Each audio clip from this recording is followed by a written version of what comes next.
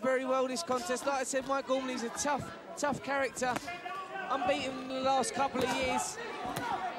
Well, they're both whacking away here with big shots, and Robin Reid is not having the impact he, uh, he, he, might have desired, although he scores a decent right there.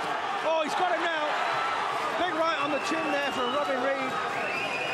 And don't forget, this is the vape. Oh, his nose is bleeding very badly. Blood pouring out of that nose of Mike Gormley's.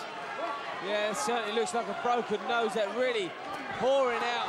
And this fight could be over. Well, the towel's coming in. It has indeed from Steve Foster.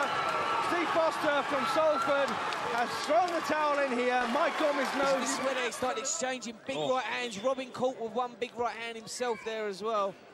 But Gormley then... really taking the effects of it. You see both boys getting caught, but that one, that one was the one that done the damage, and I think that really broke Gormley's nose. We can see him sitting in the corner.